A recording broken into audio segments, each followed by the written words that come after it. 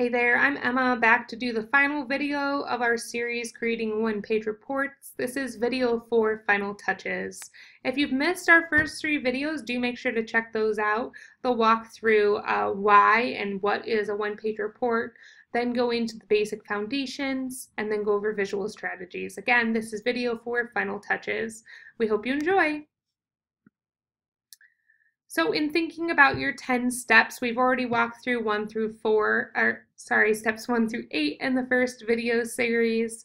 Um, and now we're concluding in steps nine and 10 in this video. So the uh, second to last step is get feedback. And when we're thinking about getting feedback on our one-page report, we really want to think about who might be a good person to get feedback from.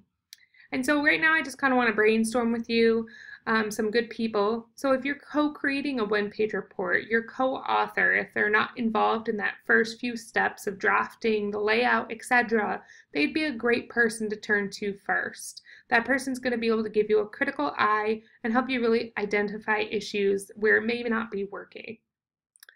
You also can, could could consider your client. So perhaps you're working with a client that's open to providing feedback on reports. That person would be a great person to provide context, make sure your audience is aligned, make sure that information is really being reported out right there. So you may be thinking to yourself, okay, this is good, we found a reviewer, but how do we really communicate what we're asking them to do? Well, we actually encourage you to just send along the uh, one the step one step sorry the 10 steps to creating one page report document it goes through steps 1 through 10 um, but actually the handout um, and the worksheet might be helpful because it provides a little bit more information and would give your reviewers places to write information down. I'm just going to walk through those steps that they're going to be reviewing really quick, give a brief overview, but these are covered in our first, our video two and video three of this series, and we do encourage you to check those out for more information. Really in identifying the audience, um, you want to provide this to your reviewer up front that you're you're aiming to communicate this information to what audience? So maybe it's college administrators or your funder, the National Science Foundation. And you want to make sure your piece is at the right level for your audience. Also, you want to give them your purpose. So, what is the purpose of this one pager? What are you hoping to communicate? Um, this information can be validated by your reviewer, or they might say, Nope, this is not right. You're kind of missing the point here. And this is really good information to get feedback on. Step three is prioritize inf information. And this, info this they can tell you, just say, this is the information I see and this is what I'm getting from this. And this may or may not align with what you're hoping to get. Steps four and five are starting in the visual strategies, but we want to make sure that our alignment is good, that we have a good visual layout here, and that's information that's really helpful in getting that one page report to look nice.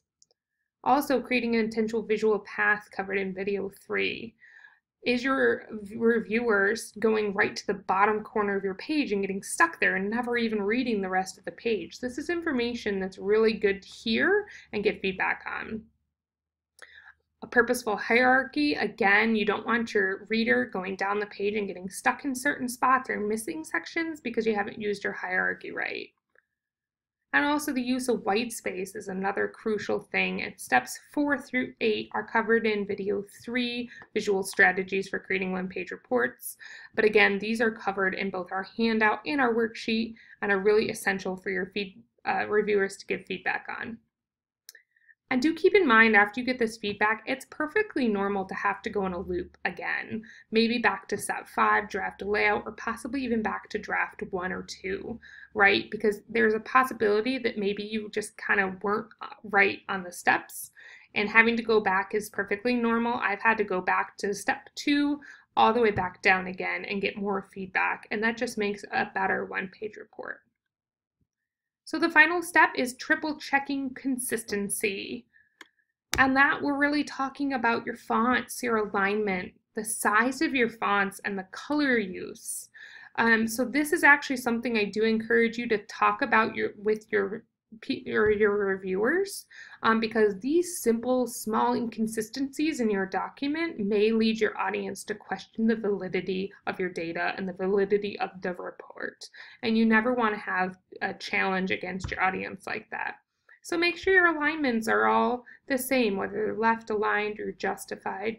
Make sure you're not using multiple fonts throughout your document. Use the worksheet we provided and actually write those down. Keep track of those things. Make sure your colors, you know, you don't want to use a rainbow here on your document. Um, you know, use your colors consistency and this will consistently and it will make your documents better. So that is it for steps uh, 1 through 10 here. We hope you enjoyed this video. Um, check out our website, evaluate.org forward slash one pagers. Lyssa and I would love to hear from you. Our contact information is available through our website. And we hope you have a wonderful day and enjoyed learning about creating one page reports. Thank you.